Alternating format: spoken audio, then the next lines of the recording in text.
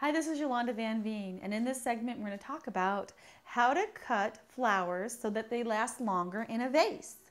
Now there's many different ways that you can cut flowers and there's all different types of methods and everyone says to add bleach or cinnamon or aspirin or whatever to the water. But in the end, I have found what flowers really need is fresh water just like us.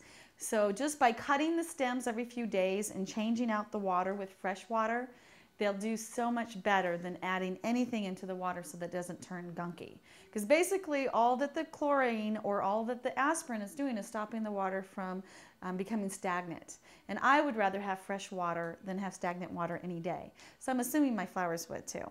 So when you're cutting your flowers, an easy trick is if you cut them out in the air, what happens is air fills into the pockets.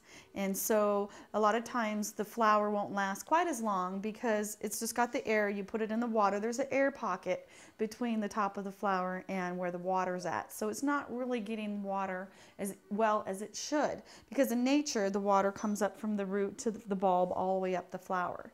So an easy way that you can cut flowers just so that they've got water that comes up when you cut them and not air is just to cut them underwater. And it's so easy. So all you do is just use a container, a bucket, or right in the sink. And as long as you cut at an angle, I like to do a 45 degree angle as opposed to straight up and down, because that way when it sits in the vase, it's getting water from the side and not just being blocked.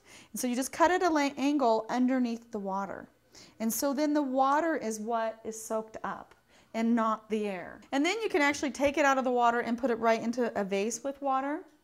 But because there is actually water into the stem and not air, it'll continue to soak up the water no problem.